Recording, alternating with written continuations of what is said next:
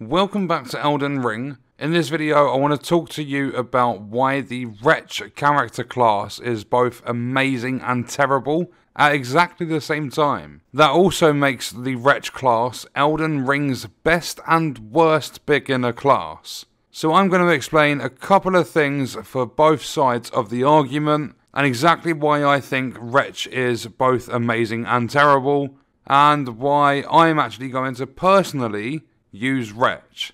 But just quickly, before we get any further into the video, if you're not currently subbed to the channel, make sure you do sub turn notifications on. If you enjoy the video, don't forget to leave a like, all support is greatly appreciated. And if you want to support me further as a creator, then check out the links in the description, and let's get into it. So what I've done is watched a couple of videos hearing both sides of the argument. And in this game, when you have a class like the Warrior, Prophet, Astrologer, any of the other classes besides Wretch, when you respec, you can drop your stats way lower than the 10 you can with Wretch.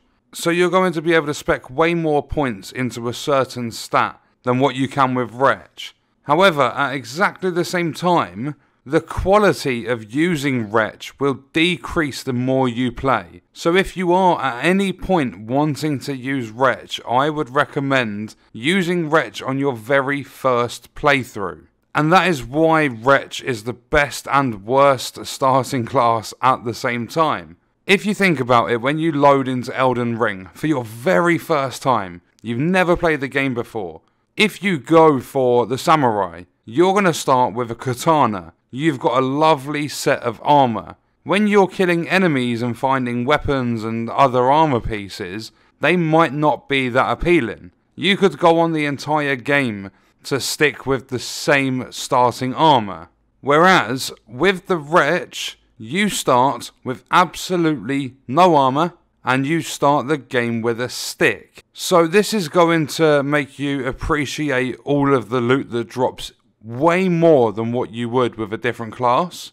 So the Wretch is going to be amazing for trying out all the different loot and armor that you come across.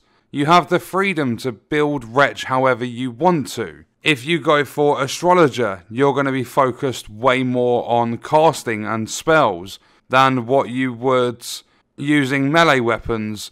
And then if you go with Samurai, you're going to be way more into your melee weapons than what you are casting with spells. So all nine of the other classes are pretty much built specifically for certain things. However, with Wretch, you're not built for anything. You're like a default starting character class, whatever you want to call it. You have absolutely nothing. All of your stats start at 10. So you don't have 16 dexterity, you don't have 15 arcane, you've got 10 across the board. So as balanced as a level 1, you can put your stats into whatever you want to. You focus on your own specific playstyle. So you get way more freedom in how you build your Wretch compared to the other classes.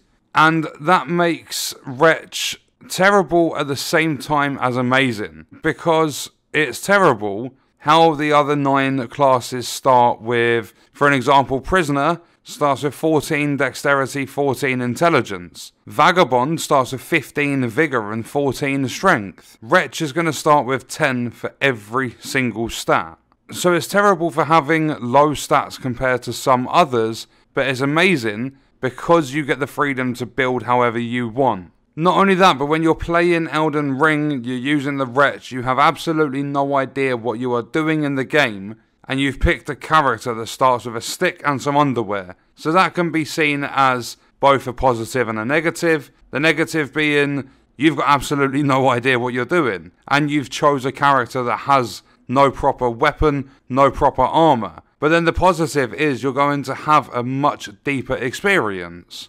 So if you're starting with any of the other nine classes, you've got your pre-selected weapons, you've got your pre-selected armor, so when an enemy drops loot, you're probably not going to be interested in quite a lot of it. So using the Wretch definitely chucks you into the game at the deep end, like the deepest end of characters and their classes. But with that, you're going to learn way more than what you would using any other class. But in turn, to balance it out, the difficulty gets bumped up. And one thing I'm going to recommend, or like pass advice across about. Obviously, it's up to you what you do. It's your game. You play it however.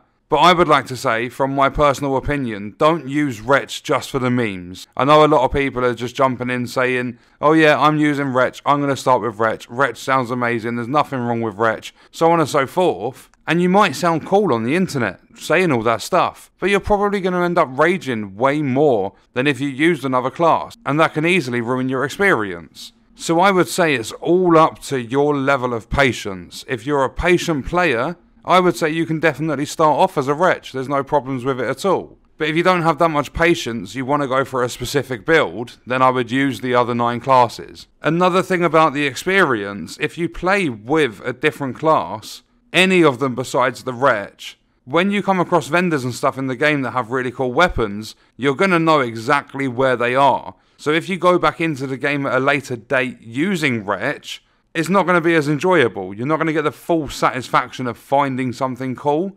And that's why I would recommend using Wretch for your first playthrough. Because if you're wanting to fully experience Elden Ring and everything it has to offer, then Wretch is probably the best class to start with. But you're not going to have an easy time in the game. It's going to be the hardest possible time. It's just a much deeper experience with the game, and you're going to feel a lot better finding your weapons and armor everything is going to give you way more satisfaction because you're literally starting off with just a stick and some underwear. So, just to sum this up and like wrap up the video, for pure example, you want to start off the game really strong, loads of health, you want reduced fall damage, quick casting, all that sort of stuff. Vagabond is going to be your best bet. You're starting with 15 vigor, 14 strength, and 13 dexterity if you start with the astrologer, you're starting with 16 intelligence, 15 mind, but your vigor's going to be low. So you can stand back, you can cast your spells, but your health's going to be really low. So if you get too close to an enemy, you're probably going to have to pay the price of death. If you start with a samurai, you've got 15 dexterity, 12 vigor, 13 endurance, and 12 strength. That's again really good for reduced fall damage, quicker casting, and you've got both ranged and melee. You start with a katana, all that cool stuff. But with the wretch, you're going in bare bones. You're basically, essentially, going in naked. You go in with a stick, underwear on, and the adventure is yours. It's completely up to you where you go, what you do. You're going to find all the loot and you're going to want to try it all. If you've got a stick and you find any form of a sword, you're going to pick it up. If you find any set of armor, you're going to pick it up. You're going to try absolutely everything and you're going to appreciate the drops way more. So there is like a, I'd say it's quite a balanced pros and cons list with the Wretch. And I was like pretty much fully set on starting as a samurai. Just because I think the armor set's really cool. I like the idea of starting with a katana.